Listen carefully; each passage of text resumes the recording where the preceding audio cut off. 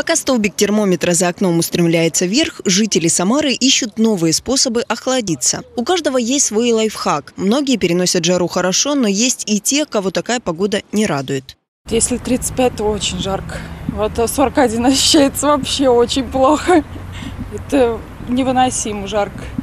Ну, можно, но не каждый день, можно два дня в неделю. А остальное желательно, чтобы чуть-чуть жара спала.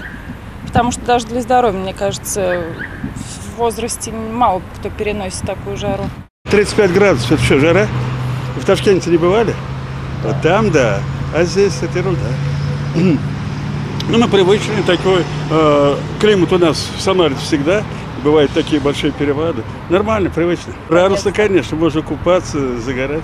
В жару специалисты рекомендуют носить легкую светлую одежду из натуральных тканей и не стоит забывать про головные уборы. В самое жаркое время днем лучше оставаться дома, но если на улицу все-таки необходимо выйти, тогда нужно пить больше воды и исключить алкоголь.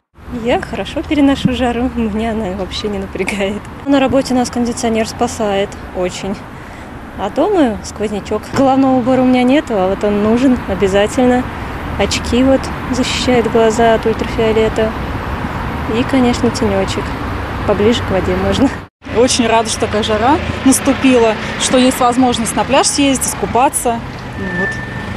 Шашлыки это, шашлыки пожарить в выходные с друзьями встретиться. Тем более после в этот такой достаточно тяжелый год, когда мы все были на самоизоляции, теперь вот выбраться на природу, конечно, большая радость. Синоптики обещают, что жаркие дни продлятся до августа, правда, с небольшими перерывами. К концу недели немного похолодает до 30-32 градусов. Атлантический циклон принесет кратковременные грозовые дожди. Также в некоторых районах может усилиться ветер. Сейчас он юго-восточный, 5-10 метров в секунду. По словам специалистов, в июле температурный рекорд пока не побили.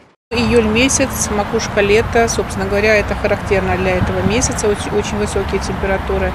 И за весь период наблюдения у нас э, самые высокие температуры были, ну, в общем, 39-40, это 10, 2010 год, ну, вот 1971 год, на вершинах у нас зафиксирована температура 41,9 градуса, то есть практически 42 градуса.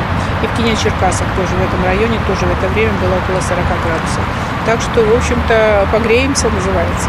Водоемы из-за высоких температур прогрелись и на несколько градусов превысили температурную норму. Например, река Чапаевка до 25 градусов, водохранилище в Тольятти до 24, а в Самаре вода около 21 градуса. Выходные можно провести на пляже, но не забывая о мерах безопасности. Елена Малютина, Константин Головин. События.